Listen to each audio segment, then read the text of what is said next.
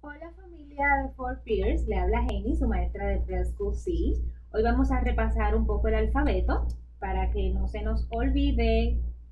Vamos a empezar con la letra A, B, C, D, E, F, G, H, I, J, K, L, M, N, P, Q, R, S, T, U, B, W,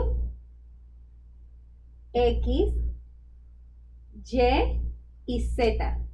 Espero que en casita practiquen todo el alfabeto, todo el abecedario, para que cuando lleguen otra vez nuevamente a la escuela, pues sepamos repetirlo todos juntos. ¿Ok? Bueno, espero que les haya gustado. Bye.